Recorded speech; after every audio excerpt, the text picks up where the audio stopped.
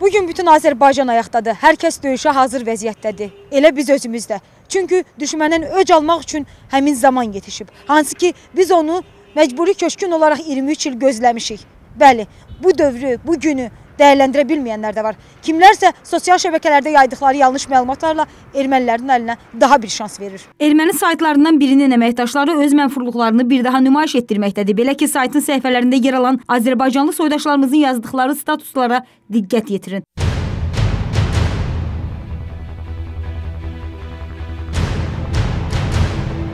Yalan dolu məlumatlar. Bəziləri yazır ki, Ağdamda bir neçə kənd işğal edilib, kəndlər boşaldılıb. Bura Füzuli rayonunun bəzi kəndləri də daxildir. Xeyli dinc sakin itirilib. Və yaxud da digəri yazır. Yevlax xəstəxanası təmiz boşaldılıb, yaralılar çoxdur, 10 əskər ölüb və s. Bu kimi xəbərə isə yalnız mənfurlar inana bilərlər. Sakinlər də belə deyir. Orada olmayıb amma fikrini bildirirlər.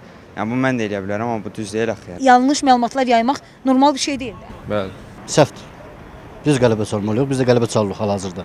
Allah onların cəzasını versin. Çünki yalandan yayırlar insanların hissləri ilə oynayırlar. Sosial şəbəkələrdə yalan məlumat verənlərə üzümü tutub deyirəm ki, sizə ar olsun, yalan məlumat verməyin. Dağlıq Qarabağda baş verən döyüşlərin sosial şəbəkələrdə də geniş müzakirə mövzusu olması əslində olduqca yaxşı haldır. Azərbaycanlı istifadəçiləri bütün gecə boyu yatmayaraq əskərlərimizə dəstək verən, onların şücaətinə övgülər söyləyirlər. Üç rəngli bayrağımızı profillərinə qoyub həmrəyli nümayiş etdirənlərin sayı az olmayıb. Müharibədə həlak olan əzizlərimizin fotoları da hər bir istifadəçinin profilini bəzəyib. Bu narahatlıq və qürur verici bir gündə birlik, bərabərlik nümayiş etdirən soydaşlarımızla yanaşı, amma bəzi bilərəkdən və bilməyərəkdən qeyri-dəqiq məlumatlar yazanlar da olur ki, bu isə təbii ki, qəbul olunmazdı. ordumuzun daim ruh yüksəkliyində olmasından bağlı yazılar biz davamlı və sistemli şəkildə e, ictimaiyyətə çatdırmalıyıq. Bu oxuculara bu mövzularla gəlməli, yəni görüşünə gəlməliyik. Ona görə də düşünürəm ki, yazdığımız yazılar, dediyimiz fikirlər əskərlərimizi daha da ruhlandırmalıdır. Əskərlərimizin daha da e,